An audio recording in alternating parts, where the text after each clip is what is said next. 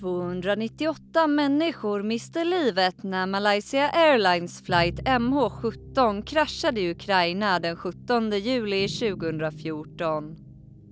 Planet var på väg från Amsterdam till Kuala Lumpur och försvann från radarskärmen när det passerade östra Ukraina. Det exploderade över ett rebellkontrollerat område nära den ryska gränsen. Samtliga passagerare och besättningsmedlemmar ombord som mestadels var från Nederländerna avled. Ukrainas inrikesministerium bekräftade att planet träffats av en missil avfyrad från marken. Under kommande månader lanserades flera olika teorier om varför planet kraschade och vem eller vilka som var skyldiga till det som alla var överens om. Kraschen var ingen olycka. Skuldfrågan blev ett politiskt spel mellan Ryssland och västvärlden. Efter händelsen öppnades en internationell brottsutredning.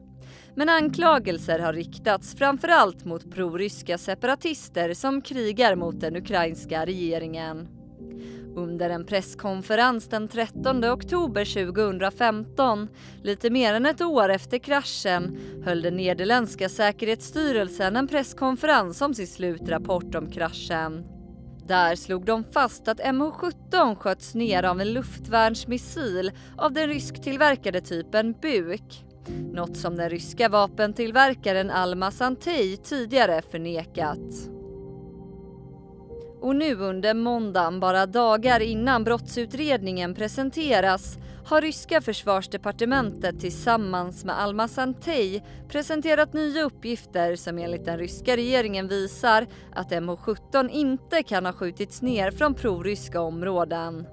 Det är något som Ryssland skarpt hävdat hela tiden.